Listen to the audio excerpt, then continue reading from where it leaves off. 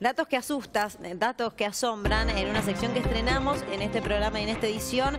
Las cifras, las cifras que revelan la realidad que se está viviendo en la República Argentina. Y vamos a empezar a compartir porque las sumas son alarmantes. ¿Qué tienen que ver con el pan? ¿Saben cuánto vale el pan, el de la región? O sea, el pan más caro de la región lo tenemos nosotros en la Argentina. Vale 43 pesos. Esta es, es un dato, teniendo en cuenta un pan de lactal de tamaño chico, blanco, de una marca relativamente buena, pero en relación, en comparación a las cifras de lo que cuesta el pan en otros países de nuestra región, está muy pero muy por arriba. Este es un dato, esta es una cifra que revela y que es una cifra que también se teme que siga creciendo.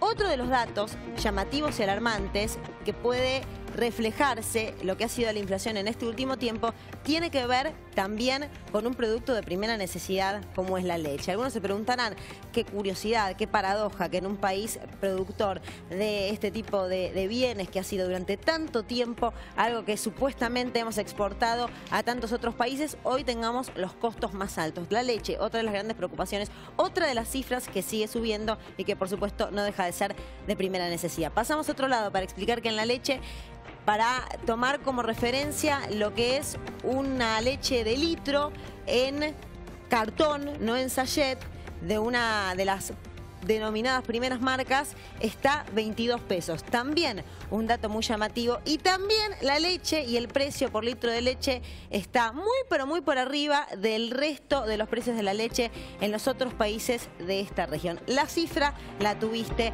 en C5N.